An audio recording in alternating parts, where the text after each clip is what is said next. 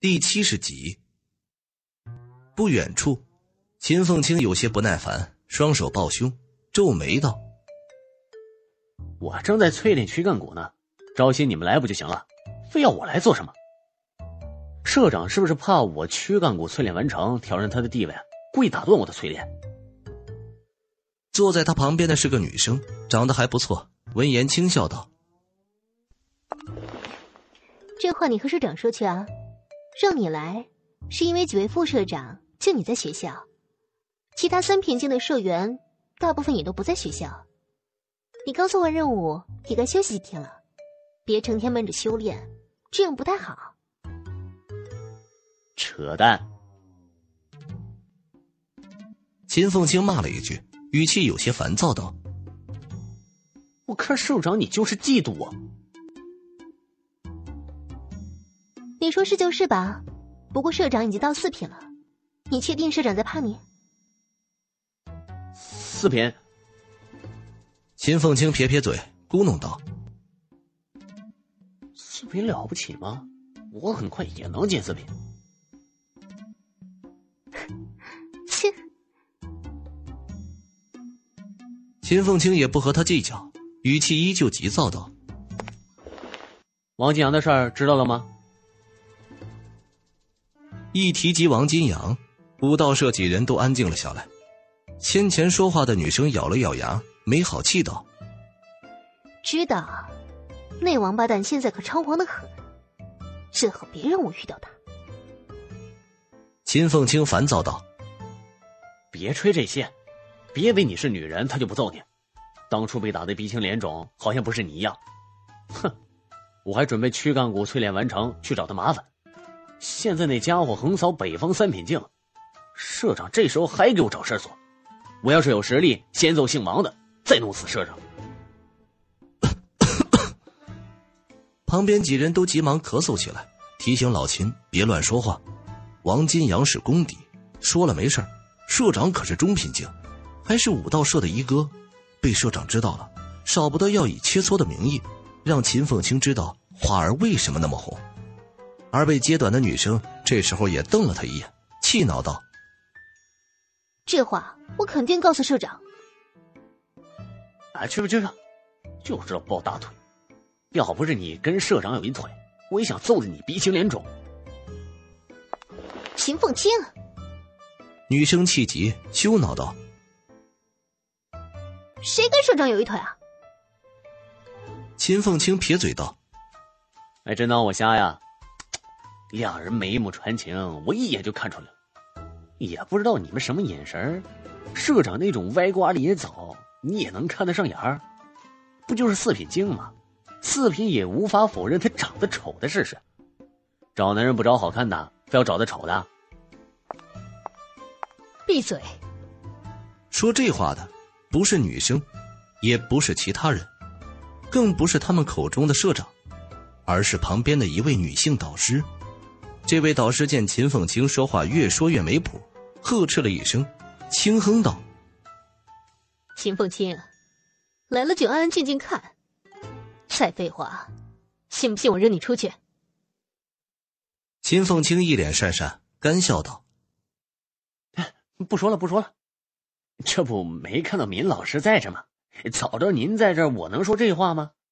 谁不知道闵老师对咱们社长那是刮目相看。”芈月眼神危险的盯着他，淡淡道：“继续说。”“嗯，我我没话说了。”秦凤清感受到了危险的气息，急忙作证，严肃道：“新生入场了。”见他转移了话题，众人都松了口气。老秦自己疯狂作死没关系，再让他说下去，说不定他们也得陪葬。而此刻。也正如秦凤清所说，大批新生开始入场了。一号操场，学生们三两成群，独自一人来的，大多都是一区的新生。其他几个宿舍区，四人一组的，一般是四区的；三人一组，大部分是三区的。方平走走看看，过了一会儿，想起了一个极为重要的问题，开口道：“女生怎么安排？”新生宿舍区总共就四个。那女生们住哪儿？傅昌鼎奇怪道：“你没看到？什么？一区有女生啊？”傅昌鼎惊讶道：“你什么眼神？还说这些女生长得太像男人了？二区、三区、四区是女生住一起，一区都是单人单房，女生单独住。武大这边不分男女住宿区，一方面是人少，另一方面则是武者不拘小节，有时候出任务男女混搭，平时商量一下任务，交流一下修炼心得，同层次的也方便一些。”方平吃惊道。这样，我还真没注意。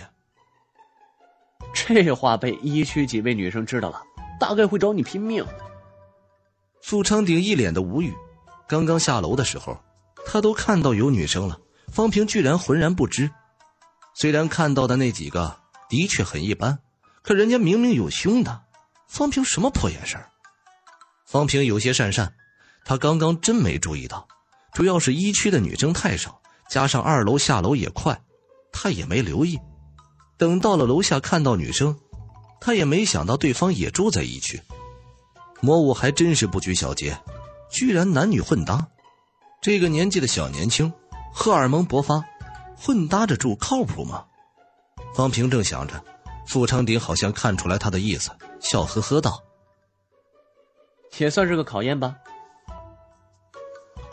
什么？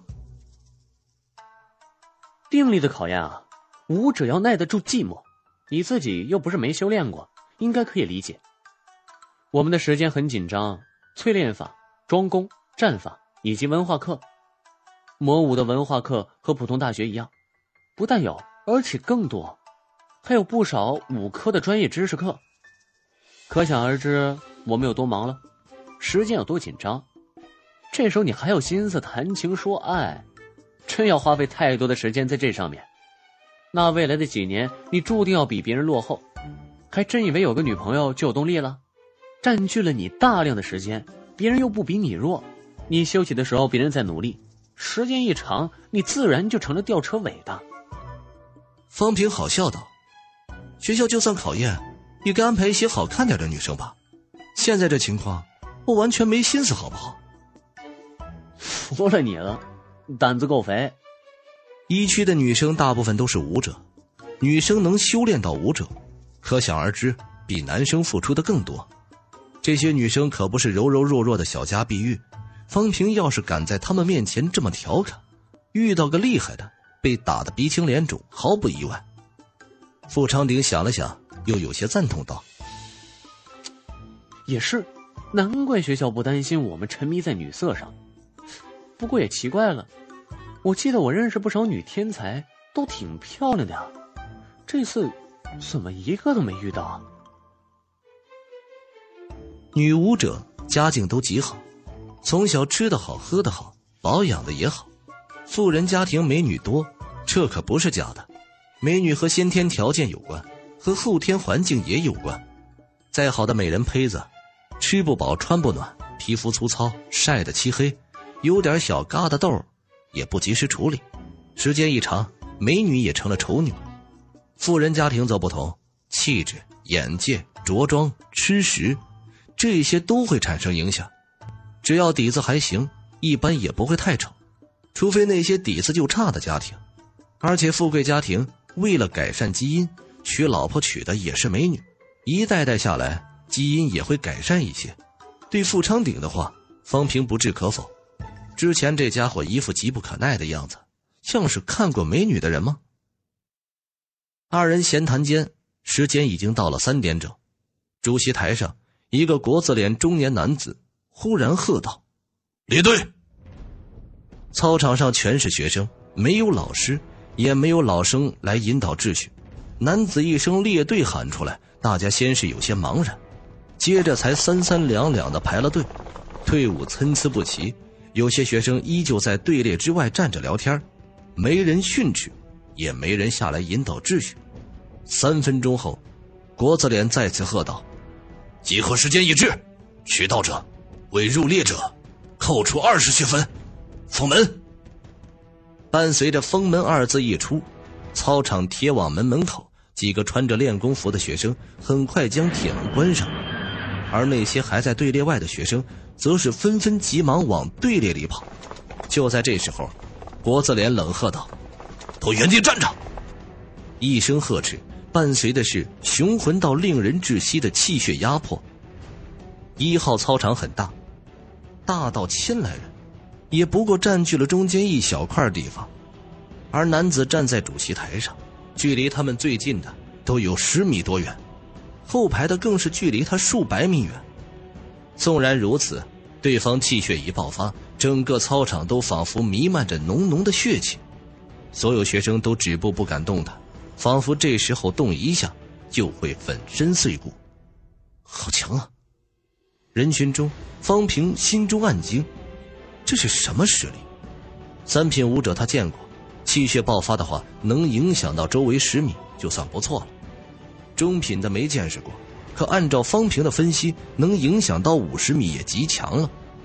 这里说的影响，只是气血沸腾之下能让你感受到，而这种产生压迫、一次性压迫上千学生的气血之力，简直强的超乎想象。方平都可以想象，这样的强者面对一支普通人军队。光是气血压迫就会让不少人失去战斗力，根本不敢动弹。同学们好，自我介绍一下，我叫黄景，兵器学院院长。国司脸不用喇叭，也不用话筒，可说的话仿佛就在大家耳边说起。校长不在学校，两位副校长也都有要务要处理，今天由我来主持新生典礼。这话的意思，方平听明白了。除了三位校长，魔武很有可能就是这位兵器学院院长的地位最高，可能也包括实力方面。据王金阳所说，魔武总共有四位宗师强者。这位兵器学院的院长，是不是就是四位宗师强者当中的一位？毕竟按照方平的了解，兵器学院算是魔武最重要的一个学院。进入魔武，我要教给大家学会的第一件事，就是遵守规矩。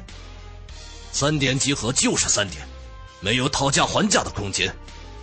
未到者、迟到者、未按规矩列队者，统统扣除二十学分。二十学分，要人命啊！